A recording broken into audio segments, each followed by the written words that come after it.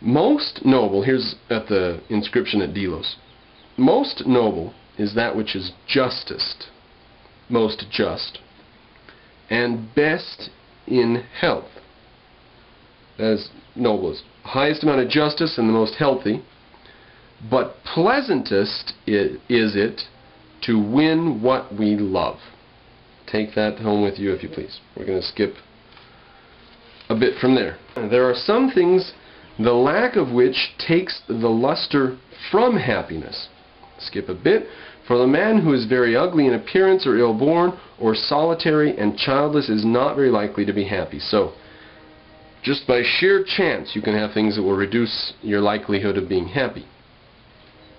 And perhaps a man would be still less likely if he had thoroughly bad children or friends or had lost good children or friends by death, less likely to be happy. As we said, mentioned before, happiness seems to need this sort of prosperity, in addition for which reason some identify happiness with good fortune, though others identify it with virtue. So, some people say, if you're born without riches and, and so on, you might not be able to be happy at all. And other people say your virtues can lead to happiness no matter what your worldly riches. But, I mean, if a man has seven kids born in a row and all, of them die and his wife dies, and, uh, you know, and, and then he gets killed in a horrible war, it's not really his fault. That's just a tragedy of events. It's a tragedy of the world we live in. This is the problem for people who believe in God to explain. Why is there evil? Why does evil exist? Why does misery exist? So, um, some people identify happiness with good fortune. Some people identify with worldly goods.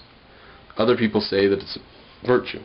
Even a virtuous man, though, who all of whose children die and then he gets killed in a bad war, he might not be so happy. For this reason also the question is asked whether happiness is to be acquired by learning or by habituation or some other sort of training. Right? Now whether it's virtues or worldly goods, how do you get there? Whichever answer you offer. Um, or does it come in the virtue of some divine providence, or possibly again by chance, absolute chance? Maybe that's what it is. Um, happiness seems, however, to be among the most godlike things. For that which is the prize and the end of virtue seems to be the best thing in the world and something godlike and blessed. Bit of rationalism there, a uh, bit Platonic there, fine. To entrust to chance what is the greatest and the most noble would be very defective arrangement. Pause there. He's saying that if we do want to say happiness can be a function, function of, of chance, happiness can be that your dad was rich and you were just born in a golden age and uh, your family uh, was in a good place in Athenian society or whatever, you know, that can be a, function, a function of happiness. But he says if we entrust all of it just to chance, if we say happiness as such is chance, that he says that's going to be a defective arrangement. So we can't allow us to say that it's all in the hands of chance.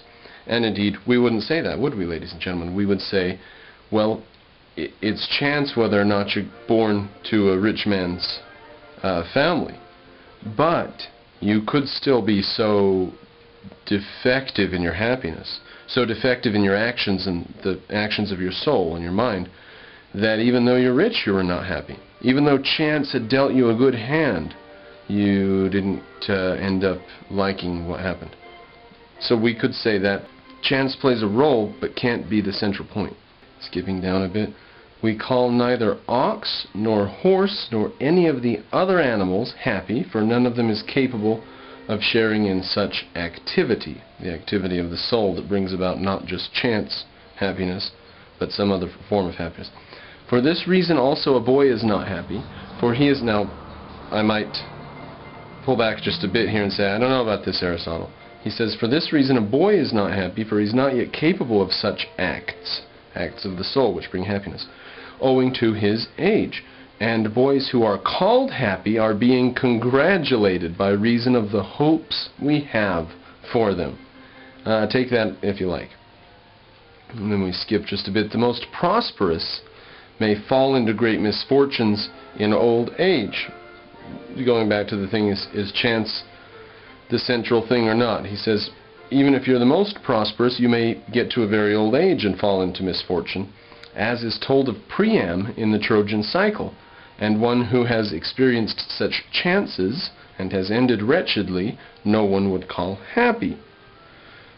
But aren't they happy a bit along the way, maybe? Now, that brings up a bit of a problem.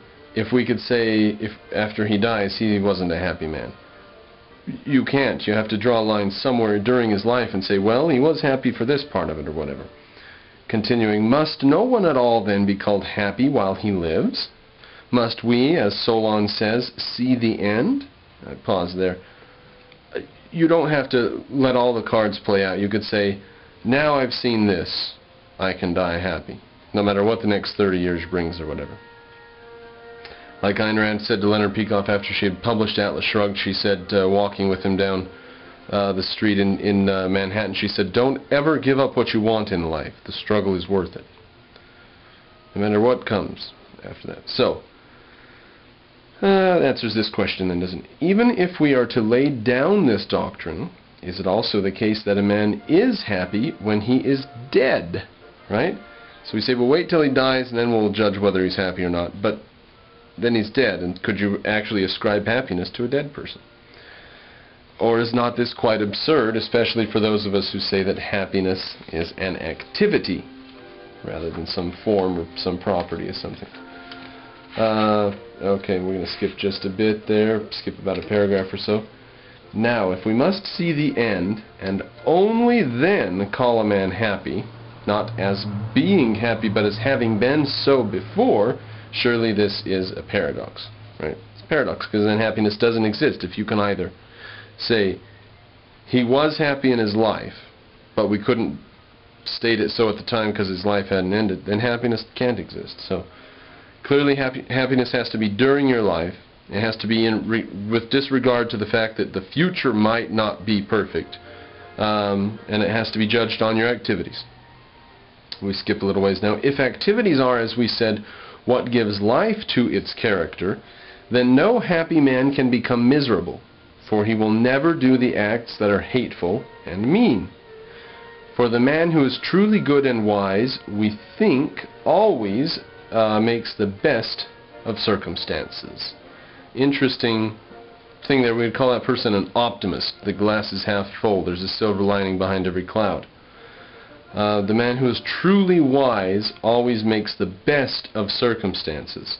As a good general makes the best military use of the army at his command, and a good shoemaker makes the best use of the shoes out of the hides that are given him. It makes the best shoes and hides out of the hides that are given him. Now, um, if you're a military commander, you don't lament the fact that you have no B-52s at your command. You don't lament the fact that you have old Russian tanks and you're going up against um, uh, more modern American tanks if you're, say, the Israeli army commander. You don't lament that fact. You just make the best of the situation you have. That's what we would call a happy man, says Aristotle. And I submit that to you, ladies and gentlemen. I, I agree. I think he's got a pretty watertight case their airtight case.